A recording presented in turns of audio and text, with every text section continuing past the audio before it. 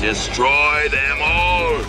Ah, it feels so good to be so bad. The Shredder takes orders from no